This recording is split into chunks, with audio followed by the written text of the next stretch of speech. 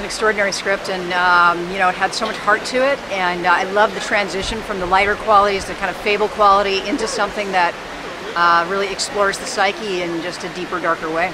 Did you personally relate to it on any level that you yeah. really wanted to make this film? I think so. I mean, I I'm, i do tend to make movies about spiritual crisis, people in spiritual crisis, and uh, family, uh, how, how the family dynamic, the tapestry of, of the family knits together and affects each other, not just in this generation, but in past generations, and how that all kind of comes to haunt you.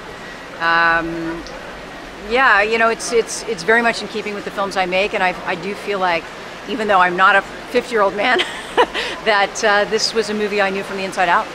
And how did you know Mel was going to be perfect for this role? I mean, that he could cover all these dynamics in this this very difficult role.